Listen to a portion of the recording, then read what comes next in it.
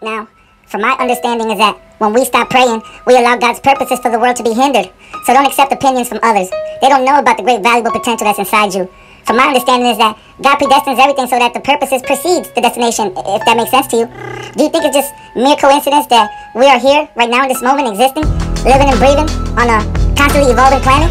If the sun is just a ball of fire, who lit it? There has to be a purpose.